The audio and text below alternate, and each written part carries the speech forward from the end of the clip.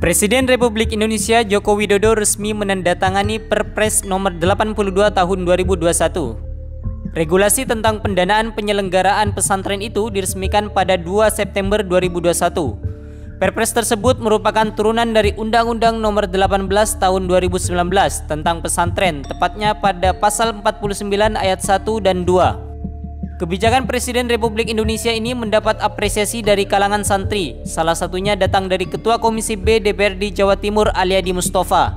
Dia menilai Perpres tersebut merupakan kado indah menjelang Hari Santri Nasional yang digelar setiap 22 Oktober 2021.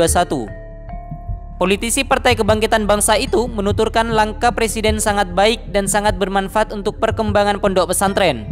Bahkan dia mengatakan pesantren memang layak mendapat perhatian lebih dari pemerintah Sebab kontribusi pesantren dalam membantu kemajuan Indonesia sangat besar dan nyata. Alumni Pondok Pesantren Miftahul Ulum Penyepen Pamekasan itu menambahkan, selama ini pesantren telah banyak melahirkan tokoh-tokoh nasional yang memiliki peran strategis dan penting dalam menjaga kedaulatan dan kesatuan negara kesatuan Republik Indonesia. Bahkan berdirinya negara kesatuan Republik Indonesia ini tidak bisa lepas dari peran para ulama dan santri.